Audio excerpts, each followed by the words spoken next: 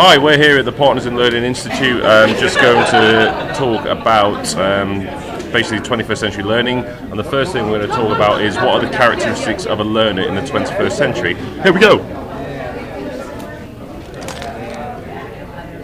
Collaborative. independent, Creative.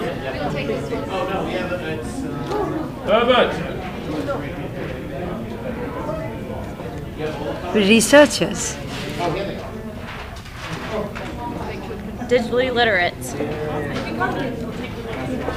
Reflective. risk, risk taker, And we should have a teacher from Austria, Herbert, but he's gone AWOL, so hopefully they'll appear on the next round. Running already? Yeah. Oh, okay. go, go, go, please go. What, what, are, what are the characteristics of a learning environment of the 21st century? It's accessibility. Open. Safe, connected, Self-paced. Technology.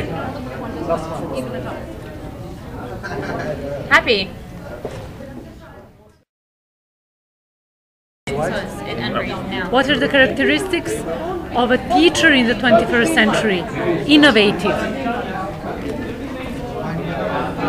Facilitator. Global, lead by example,